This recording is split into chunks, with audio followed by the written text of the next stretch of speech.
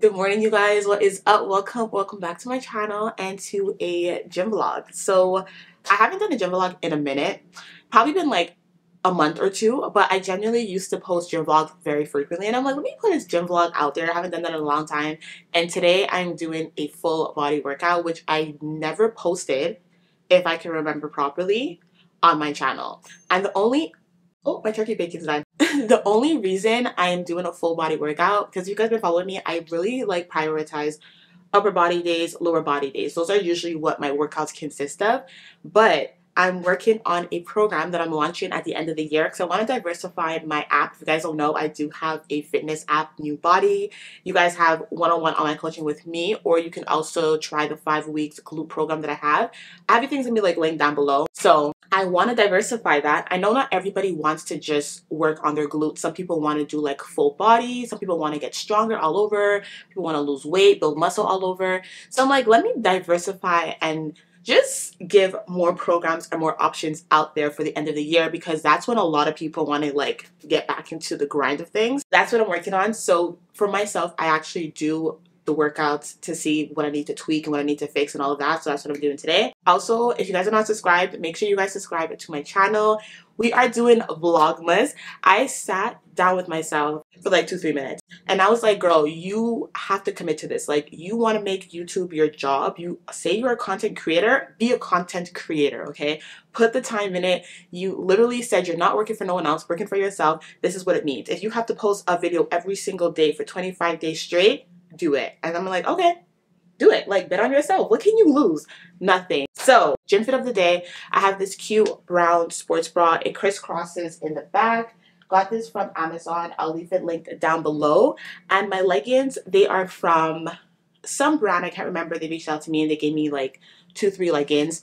If I can remember it, I'll leave a link down below. If I can't remember the brand or the link or I can't find the link, it won't be linked down below. Also did a little makeup. My skin, by the way, has been getting so much better since I've been taking the medication. It's been about two months and I am definitely noticing a difference, like a big difference. I don't break out as much. It's very, very minimal.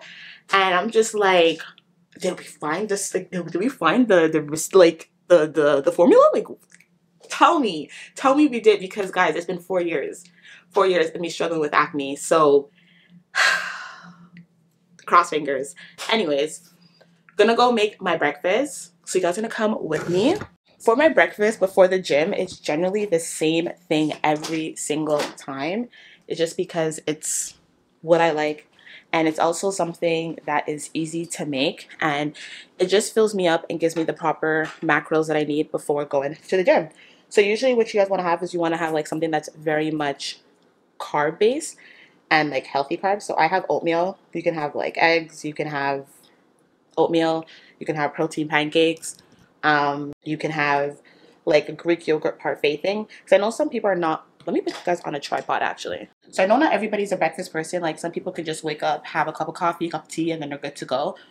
At least have fruits. Like at least have a banana, have like a little parfait yogurt thing, especially if you're going to the gym. For my breakfast, what I'm gonna do is I'm gonna mix the two oatmeal from Quakers. They're not the healthiest oatmeal. If you wanna make oatmeal from scratch, that is the best way to go about it because you're controlling the sugar content that you're putting in your oatmeal.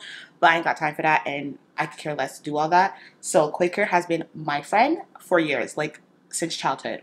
So I'm having the apple and cinnamon mixed with the maple and brown sugar. I've also been lacking with my protein intake. Like I do not get enough protein in for the day.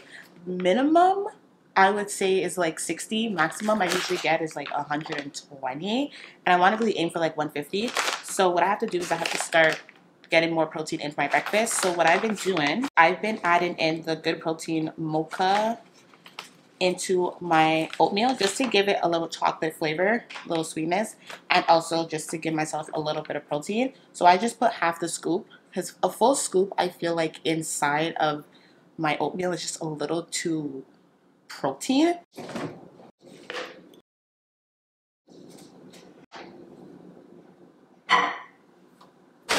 This is what it's looking like. I'm just going to mix it up a little bit. It is really hot, so what I'm going to do, I'm actually going to add a bit more milk. Just to kind of cool it down and make it very liquidy. Because personally, I like my oatmeal soupy. I don't like it thick and clunky like how some people like it. And then we're just gonna add in a banana. I'm gonna put like half a banana in here. And then the other half I usually just blend it into a smoothie. So this is literally like my go-to breakfast. I would sometimes have turkey bacon. I literally was putting it in the air fryer. You guys heard it ding earlier. But then I was just like, I'm not hungry like that. That's something I'm trying to really like practice is not to overeat because I definitely overeat. Like I will eat until the point where I'm like stuffed and I don't want that. I want to eat until the point where I'm like good. You know, I'm not hungry anymore. You guys see this? Look at that. Look at that. This is what oatmeal should look like. All right, guys. So we, oh, why is he in the freaking turning lane and he's not turning right? I gotta wait behind a red light because you don't want to move over. Sorry. so I'm in my car right now, as you guys can see, heading to the gym. I got my water mixed with my creatine. I will leave the link for the creatine that I use down below. Creatine is also one of the biggest secrets when it comes to gaining muscle mass. Like, if you want your muscles to be popping, if you want to look swole, if you want to look shredded, if you want to look like you are a lifter, like you are a gym girl or whatever you want to call yourself, get yourself some creatine. You're sleeping on yourself if you're not having creatine because you want to have creatine. I said this so many times before on my channel. You want to have creatine even on your off days, not just, oh, we got so dark. So sorry, guys. Is this auto? You want to have creatine even on days that you guys are not training. And same thing with protein powder. You want to be eating your protein every single day, having protein shakes if you're not meeting your protein intake every single day, even on days that you're not training. Anywho, I'm excited. My brother who lives in Boston, I don't know if you guys know this little bit about me, but I do have two sisters, one that I live with and another older one that has like kids. And then I have two brothers. I have a younger brother and an older brother. One brother, what is this man? He looks like a gunman. Sorry. One of my brothers lives in Montreal and the other brother lives in Boston. I have to go visit him. And if you're watching this video, because I know he watches my videos sometimes, what? hey, what is up? But yeah, he messaged me this morning, our group chat, and he was just like, hey, I'm getting married August 2025. And I'm like, I'm so excited. I just love love, and I just would love to see them reunite, not reunite, but just love to see them. What's the word? Solidify their relationship. I just want to see them get married, basically. But I want to go see him before he gets married because I go to the States a lot. You guys probably have seen i into like Vegas, Miami, Dallas, LA, Atlanta. And I never go see my brother. I think a big reason is because he lives in Boston. And I'm just like, what is there to do in Boston? But that's so rude. Like, you should be going for your brother. Sorry, we're in the tunnel right now or underground parking. I'm like a blob. I'm such a good mood. You would think I had pre-workout or something, Do I have so much energy. It's just sun. I'm telling you guys. When the weather is beautiful, I thrive. My energy is just up. I'm in a good mood. I want to be outside. Not outside like I want to party and shake my ass and drink alcohol, but I want to be like just outside, like physically outside. I feel so productive. I feel so like geeked up, amped up, ready to work, ready to get shit done. Like it's just I feel like I am meant to be in a country where it is sunny and beautiful 90% of the time, like LA. But LA is dirty as hell and it is so expensive. And it's America. That in itself is just like a ooh. Um, I think this should be good parking. We're gonna reverse it. Is it worth it? Let me work it. Put my thing down, so let me reverse it. Is here? Before we go to the gym, you guys already know we gotta listen to some music. That's like the pre-workout that we do prior to our workout without having to incorporate actual caffeine because you guys already know I have a very, very bad caffeine problem. You guys heard the song um, How We Roll or yeah, How We Roll with Ciara and Chris Brown? They have a remix out with Lil Wayne. I like it. It's a lot better than the original. She said my third leg, feel like my forearm. Since I'm a pothead, she leave my storeroom. Pussy like a pot of gold, got me gold digging. She scream gold. Yo, Lil Wayne has bars. Like, come on. Don't care my vibe. You know that I like.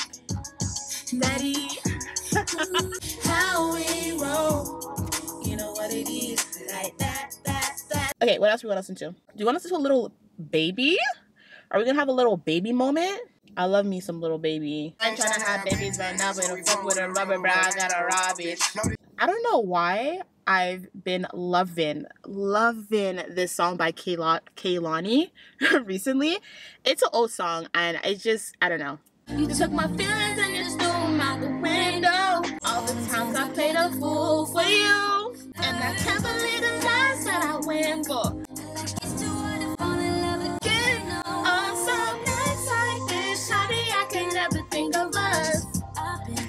This guy is looking at me like, yo, this girl's really going through it. He's laughing at me. I cannot make eye contact, guys, because he's literally looking directly at me, laughing. I gotta finish the song though before I go into the gym. Emotions just because. Alright, guys, let's go to the gym and hit this full upper. Hit this full body day. Full, full body? full body workout. Yeah, full body workout. All right, so the first thing you guys want to do once you get to the gym, before you even start your workout, before you even start picking up any weights, you want to start your stretching. Now, I'm pretty sure you guys already know this. You've heard it probably a thousand and one times. And if you haven't, you want to make sure that you're doing dynamic stretches, which is basically moving your body in and out of a specific movement. And ideally, you want to be doing this with the joints that you're going to be utilizing for your workout. So because I'm doing a full body workout today, I am actually to do movements that target pretty much my entire body. So this is a really good stretch that you guys can do. Here you're basically utilizing the joints in your knees, your ankles, your hips, and then I'm opening up my chest, shoulders, like total body. Then from this, I went into doing some windmills, which is really good for you guys if you want to open up your hips, especially if you're doing squats, which is what I'm to be doing. So I like to do this, making sure I keep my butt on the floor, I go side to side. And then I'm going to go down into some squats to extensions. I don't even know what this is really called, but this too is good to basically open up your hips as well as get your legs all stretched out. And then I'm just going to go ahead and do some walking lunges. You want to do like 10 going down and then 10 coming back. And this is just going to get your body prepped for your workout. So first exercise are some back squats. I like to warm up with just the barbell to start off, just to make sure like everything feels good. I don't have any knee pain. My movement looks good. It feels good. I'm not winking my butt because I tend to do that. I have to really pay attention to like really pushing my butt back and not going too low, but like beyond my actual range. Once everything feels all warmed up and everything feels good, I go straight into adding on my weight and I am doing 45 pounds on each side. Now do keep in mind, obviously for me, I'm using 90 pounds, but you guys are gonna to use whatever weight that you feel is best for you because you do want to execute four sets of 10 reps for this exercise. So make sure that you're picking a weight that you're able to do all these reps for all four sets. Now, when you guys are doing your back squats, a few things I want you to keep in mind. First of all, squats will look different from one person to the next. Okay, some people can't go fully all the way down as to grass because of their hip mobility. That is perfectly fine. You can build your way up to that. Also, you want to make sure that you're bracing your core for every rep. So you want to make sure that you're breathing out, expanding your stomach horizontally and not lifting your shoulders up, taking in the deep breath that way. That's a really good cue I can give you guys when it comes to back squats. The next exercise I did was a superset for my upper body. So I actually grabbed two dumbbells, one for my shoulders and one for my biceps. And I was just jamming before I even got started because the playlist was hidden, one, and two, there was no one in the gym. Like it was empty upstairs. So you want to start off by doing 10 reps of lateral raises. And when you do your lateral raises, think about like going in for a really big hug with a very slight bend in your elbows and you want to control the weight as you bring it down to your thighs. After you do your 10 reps, drop the weight, pick up the heavier weights because chances are very high your biceps are stronger than your shoulders. And we're going to go for 10 reps of hammer curls. And just like this one too, you guys want to control the movement. Even when it burns, control the reps. So you want to slowly bring it up and slowly bring it down. Don't let the weight just like pull your arms all the way down like I did for the last rep. That was not what you're supposed to do. Then once I finished those, I went straight into doing some RDLs. I did three sets of 12 reps. Now for your RDLs, you guys really want to make sure that you're really hinging at your hips. So you're pushing your butt back as far as you can and you're not squatting down. You are going to have a slight bend in your knees so you get a bit more glute engagement. But as you are pushing your hips back, you don't want to push your hips back and bend your knees further, making it a squat more than a hinge. If you are someone who struggles with feeling it in your glutes and your hamstrings and hinging and you feel it more in your lower back, I would advise you guys to stand like maybe a foot away from a wall and really push your butt all the way back until you touch that wall. And then once you feel like you're comfortable doing this with touching the wall, step a little further away again and then keep doing this until you no longer have to step in front of a wall. I hope that makes a whole lot of sense to you guys. From the RDLs, I went straight into doing some reverse flies. Now this you can do standing up and hinge back, but if you're someone who struggles with your hinging, I would recommend sitting down like this, feet together. Now with your reverse flies, this is actually going to target your rear delts and your rhomboid. So you guys see as I lift the weight up, that top of my back is really being contracted as if like I'm trying to hold a tennis ball between the two um, shoulder blades, two rear delt muscles. So that exercise, you want to do three sets of 12 reps. And I actually did some chest press right after that, but I didn't get to record it because people were in that area and I didn't want to, you know, inconvenience them or feel uncomfortable with a camera in that area that they're working out. And then to end off my workout, I did some walking lunges and ending off a workout with heavy walking lunges. I did 20 lunges. So I went 10 down and 10 back is intense. Like literally my face says it all. I wanted to give up, but I told myself, Shauna, just keep pushing. You're almost done. And I literally collapsed to the floor. And I'm not even over exaggerating. I can't be an extra person, but these are really hard. And if it's not hard enough and intense enough for you where you want to collapse at the end, you're not going heavy enough. Go pick up some heavier dumbbells. I think I might have to incorporate like full body Fridays or something because it just felt good to target all the muscles, all the major muscles at least on my body. After my workout, I didn't show this part because I was using my camera for it. I was taking a good like 20, 30 minutes to take pictures of myself, which I'm not gonna lie to you, it was hella awkward at first because people were working out like literally around me and the camera I have, which is the Canon Mark II, you can set the setting where it's like, well, most cameras you can do that, right? You can set a timer and it just takes like 10 to 20 pictures continuously and it makes that sound so you know I'm taking pictures. And so there was a girl literally, there were a couple girls working out around the area that I was taking pictures in.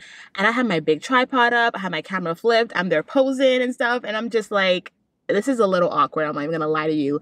But the more I kept doing it, the more I kept telling myself, "To Deshauna, who cares? Who cares if people are looking at you and thinking, oh, why is she taking pictures of herself in the gym? Probably not even what's going through people's minds. They're probably just fixated on their actual workouts. And even if they are worried about me, who the cares, right? Like, I really want to prioritize content creation, being a YouTuber as a career and being a lucrative career. Because right now, let me tell you, if I was to be banking on YouTube and content creation, I would be homeless on the streets of Toronto.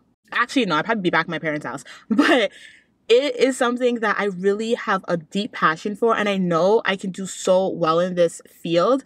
I just have to go all in, and that's another reason why I'm doing Vlogmas because I want to go all in and just bet on myself, type of thing. So, if you're a content creator or even just any entrepreneur business you have going, really just bank on yourself and put everything into it and try not to worry about other people's perspectives, other people's opinions, what other people may think about your choice of career or your choice of business.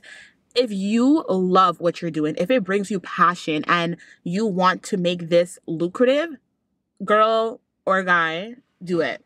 Forget everyone else and just do it. And the more you keep trying to tell yourself, in those moments where you're just like worried about other people's perception or people looking at you or watching you, especially if you're like content creation and you put in your tripod or you're recording yourself, once you find yourself thinking those thoughts, take those thoughts out of your mind, stop yourself, and be like, you know what? Who cares? They're probably not checking for you. And the more you keep checking yourself every time those thoughts come to mind, you're slowly gonna not care about other people's opinions or even be fixated on other people watching you. And you're gonna get so much more comfortable doing what you have to do. I'm saying this to myself as well because, like, as I said, I, I, struggle a little bit, but I'm getting a lot better. Anyways, that is the end of the vlog. Make sure you guys are subscribed to my channel for Vlogmas because Vlogmas is going to be the next video after this video, as I said. So make sure you subscribe, turn your notification bells on if you guys want to know when I actually upload a video. I'm trying to try to stick to like a consistent schedule where I post pretty much the same time every day. It's probably going to be between like 2 p.m., 4 p.m. Eastern time, just so you guys kind of like, ooh, Tashana posts at this time. And like, you just kind of like a TV show, you know? So like, I like that anticipation. And I like when my favorite YouTubers post at a specific time. And then when those days and those times come about, I'm like, ooh, does she post? And I want to go watch the video. So I want to create that same, you know, same feel with my videos. Anyways, I'm talking way too much. Sometimes I'm like, girl, you should get a podcast because you could just talk maybe I might do that one day. Who knows? Let me just focus on what I got going on now. Anyways, guys, for the fifth time, thank you for watching this video. Hopefully you guys enjoyed it and I'll catch you in Vlogmas. Bye. Have a great day.